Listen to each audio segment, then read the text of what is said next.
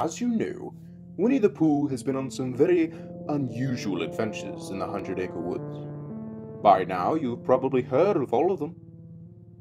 Well, all but one. And I'm afraid to say this one is a bit different. One that Christopher Robin would not like to tell you.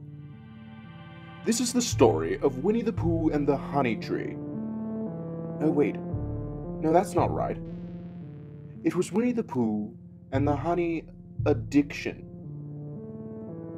One morning, after waking up to his cuckoo clock, Pooh couldn't stand the urge of not eating any honey any longer, and he devoured all of the honey from his pantry. After a couple of hours, there was no honey left for the bloated bear to eat.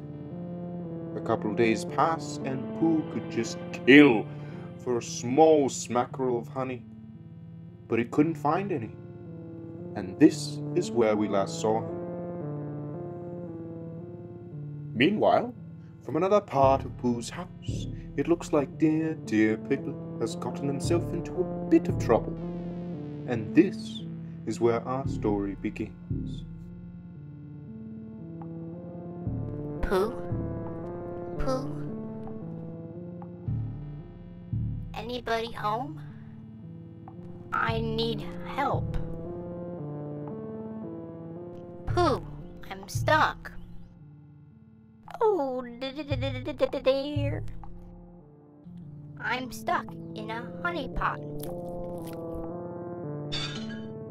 Did someone say honey?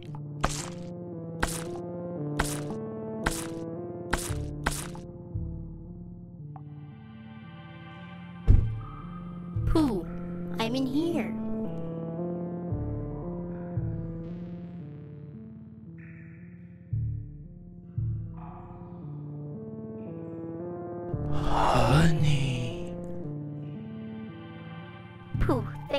Goodness. Thank goodness you're here. I thought you might have been a woozle. Pooh? Piglet. I'm sorry. You're covered in honey. I have to. to eat you. No!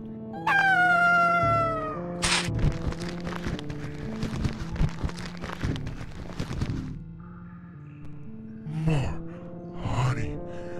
More honey. I can't live without my precious